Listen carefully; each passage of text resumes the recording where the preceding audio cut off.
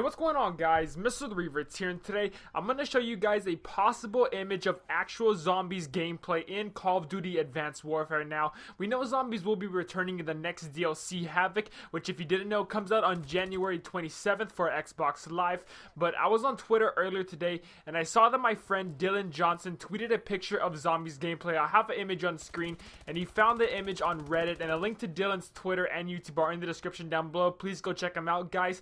But yeah, I mean, this image does appear to be real in my opinion.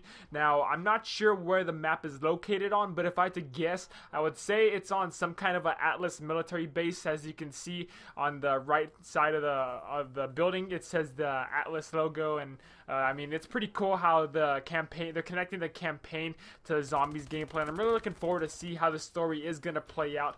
And uh, also, if you look on the roof of the hall, you can clearly see another zombie coming out of the roof.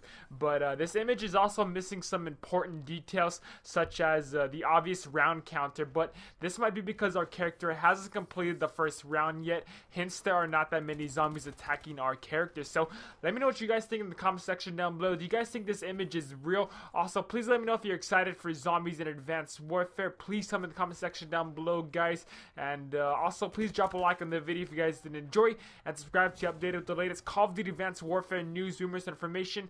Thank you all for watching. This has been Revertz. Till next time, I'll catch y'all later. Ideas don't determine who's right. Power determines who's right. And I have the power. So I'm right.